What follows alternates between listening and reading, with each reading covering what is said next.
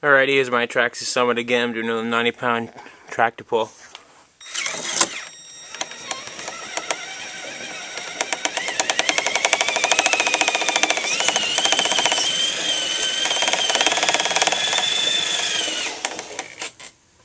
As you can see, it pretty much does it with no effort.